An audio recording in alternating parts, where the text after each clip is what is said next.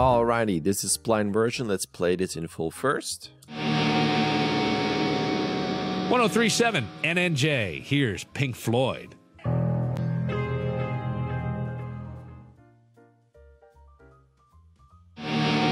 Alrighty. Let's bring that volume in just a tad. A bit loud here for me. 1037 NNJ. Here's Pink Floyd. It's cool stuff. I like it. Um, I would say the couple things. Um, I think the three immediate impressions were 1037 NNJ. a bit of a, a stiffness through here. 1037 NNJ. when you hear the sound, 1037 NNJ. it's like da da da da da da da. And in the head, it's mostly just all in the jaw. And I think even though I know he's all tired and, and depressed and all that, but I think and no one sees him, but you could still slightly pretend with a bit more energy through here, as in changes in the head accent so that the head has a bit more up and down and side to side and da da da da da da da, even with a bit of a straightening of the of the body and down, not so much in the root, but like a little bit of up and down. Just a bit more contrast in there. Like this is great. Here's Pink Floyd. Like that type of stuff. And I don't think it would take away from this. So it's just a bit more. And then you have that at the end. Floyd. This feels a bit soft. And not that this is like a like a buzzer that he has to hit. Pink Floyd. There's just something. I think it's also in terms of how much you drag the fingers and then how they go down. This gives it all a bit of a, a weird sausagey soft feel. Oh, that's a weird comment to give, but I think I'll watch out for that. And then the other one is once we get to here, there's just always stuff moving. I do like I do like all of this from a technical point of view, but you're getting to a point where it goes back and immediately bounces back a lot. It doesn't. This feels more like someone pushed him from behind. And then this is almost a bit distracting in what the fingers are doing. It, it's almost like, to me, it feels more like a, a tech demo than a character shot, if that makes sense, where it's like, I'm really distracted by the fingers. And I know that's a lot of work put into it. So I hate to give those type of notes, but it feels like you want to do the couple things. Let's go one by one here.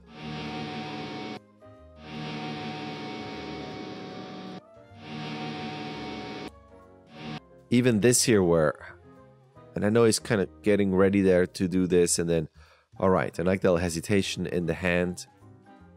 Not sure if that's something you're playing with hesitation, kind of almost a bit of a shake, but this feels more like there's a key and then there's a spline and there's the move down. So I will probably a not go as high. This is something. Good question for you. What lens this is? He seems to have really massive hands. I know that's because we're closer to the to the camera, or if that's how he is, because you know looking at this here. So it feels like maybe you have to go with a longer lens and then reposition the camera to get into the same composition. Probably while we're up there, I will probably keep that hand a bit more here, the fingers, just for the silhouette. It's not all right around here. Like something like that feels nicer in terms of the usage of space. Even down there a bit. But I would look at, like the main impression is that everything's a bit floaty and always moving. That's my main concern. So it's almost like you want to like it's almost like this is too much of a focus that he has fingers down. I guess it's very subjective, but fingers down. Excuse me. Fingers down here, and then going all the way up. It's such a big focus where I feel like it could be something where he's like this and he's barely moving. And also just because I'm talking about the beginning, if there's any way you can move that arm down with like a bend bow, get a bit more of a, a shape into this so it doesn't feel it feels almost broken back there, but it feels like you want to be in an area like this where maybe like he's tapping some of the knobs or something a bit more quiet. Maybe the eyes are a bit wider and then you can see some darting in the eyes, unless you really want to just kind of space out. And then I would just make this really just less energetic. Like this seems like, oh, I'm ready. But it's, to me, it feels like you want to do all that, the tiredness and comes up, and even then the fingers would would only be, you know, like this far. And then when he does this, it's just right at the ends he brings out the fingers for this, and this would be the moment of, eh, now I got to turn back into being more uh, animated, where you could even push. I don't know if you can, if you want to do that. I bring the hips back, so it's not so straight. It gives you just like an overall feeling of of curvature and down and depressed. And then when he pushes this, it could be like with a little bit of an adjustment in the hips, and then you got that visual feel in the back. I mean, the the arm might hide that, but then it's a bit straighter. You know what I mean? Like even this. Um, then you have that feel. I like all of this, but you know the, the fingers are tighter there, the fist and everything, and just a bit more liveliness like this in the head. I think that's cool, and that way you have a bit more contrast of just less movement, less of a bigger shape there, and then he starts this. 1037 NNJ here. 137 NNJ. It's just a bit more up and down, like I said, and a bit more activeness. There's Pink Floyd. And then the thing is, maybe this would be with a fist. Since you do have a flat hand like this, it's a bit repetitive.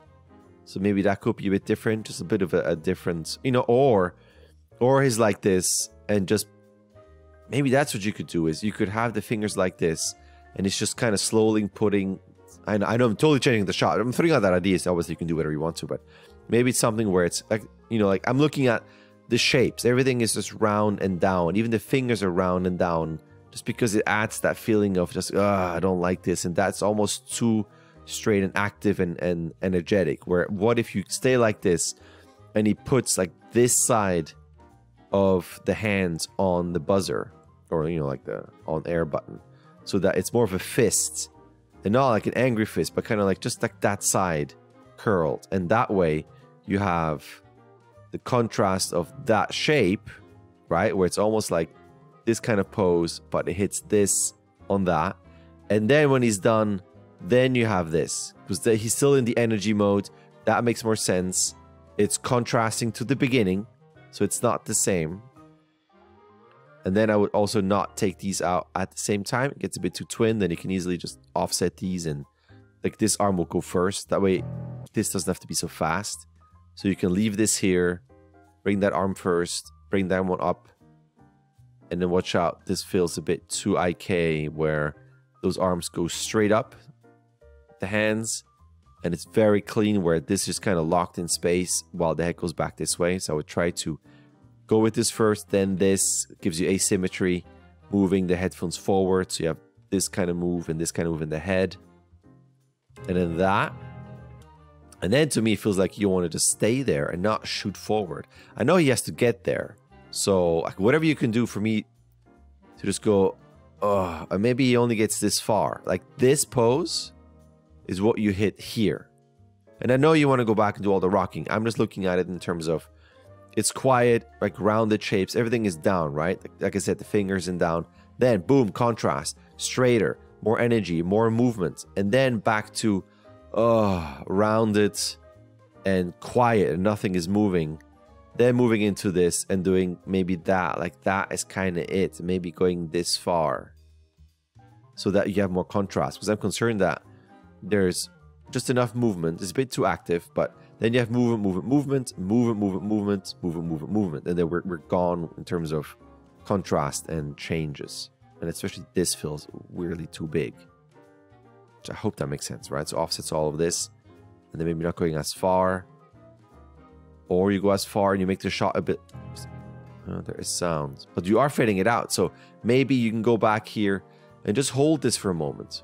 I know you want to maybe not make the shot longer, but maybe this for a second of just this moment of quietness after all of this activeness is like this.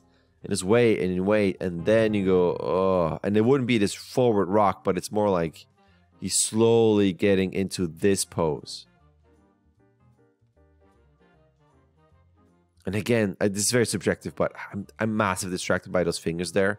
This is almost like aliens and it's a face hugger, like some creature that goes over his face.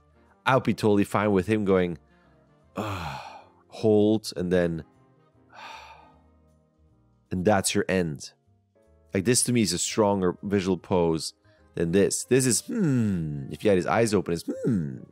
What should I eat today? Spaghetti or meatloaf? Whereas this could even be a bit more depressed, but this has a nice feel of just you see the eyes, it's a nice simpler shape, holding the head, versus this might even be a bit too complicated in terms of a last pose, but it could work. But yes, that is that. I hate to give such crazy destructive notes, but that's just my feeling to it. Obviously, show it to other people and see what, what other people say, but um, that is my thought on that. It's definitely a lot. I mean, I like the shot a lot too, but since you are signed up for this and you're paying, I just want to give you my my honest opinion, which is of course subjective. Alrighty, thank you. All right. There's an email. You can sign up. You can start whenever you want. You can submit whenever you want. You get 16 submissions. Either way, a like and subscribe would be awesome. All right. Thank you.